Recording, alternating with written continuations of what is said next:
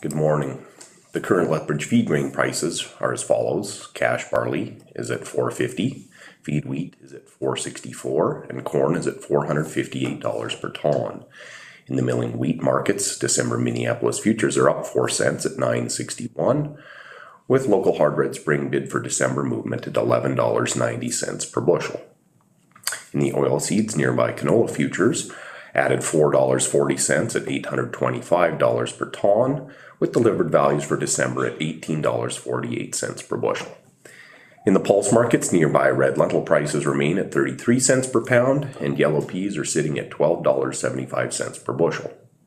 In the cattle markets, December live cattle are unchanged at $153.35 per hundredweight. For more information on pricing and picked up options, please call 403 394 1711. I'm David Lee at Marketplace Commodities, accurate real time marketing information and pricing options.